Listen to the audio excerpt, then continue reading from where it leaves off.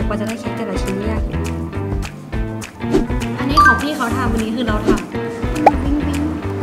ต้องต้องแบบตรงแถวนิดนึงสวัสดีค่ะ เพื่อนเพื่อนๆทุกคนวันนี้เจอกับเพเซลไอแล้วนะคะ วันนี้เราอยู่ที่ร้าน TIWA homemade desserts นะคะ เดี๋ยวเราจะพาทุกคนเข้าไปข้างในเขาบอกว่าร้านเนี้ยเป็นร้าน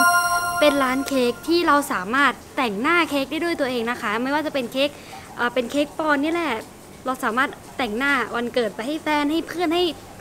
คนสำคัญได้หมดเลย เดี๋ยวจะพาทุกคนเข้าไปดูกันคันนะคะ ข้างในกันไป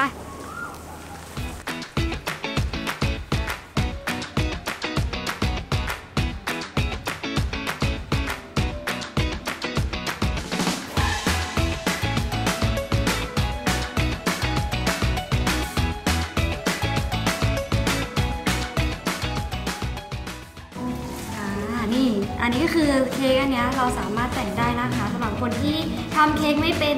แต่อยากแต่งหน้าเค้กก็สามารถแต่งได้นะคะขอบคุณค่ะ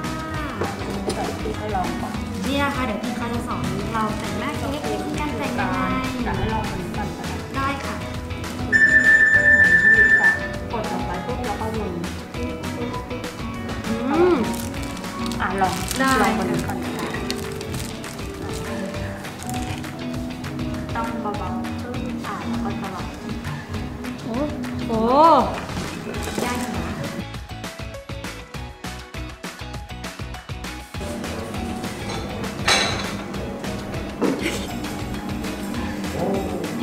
อันนี้ของพี่เขาทำวันนี้คือเราทำ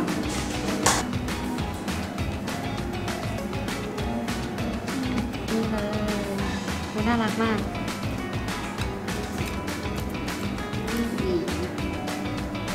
นี่เห็นไหมน่ารักไหม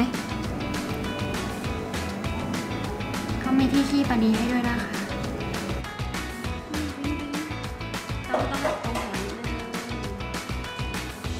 เสร็จแล้วค่ะ อันนี้คือเค้กที่เราแต่งหน้าเองนะคะ นี่จะเป็นอย่างนี้เลย น่ารักไหมก็จะหวานหวานๆเนาะ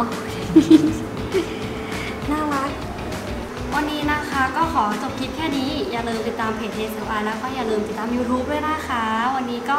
ทุกคนอย่าลืมนะคะ ถ้าคิดถึงเค้กต้องที่นี่เลยนะวันนี้เลยนะคะร้านชื่อ TIWA homemade desserts นะคะ อยู่ในตรงเมืองราชบุรีเลยหาไม่ยากนะคะ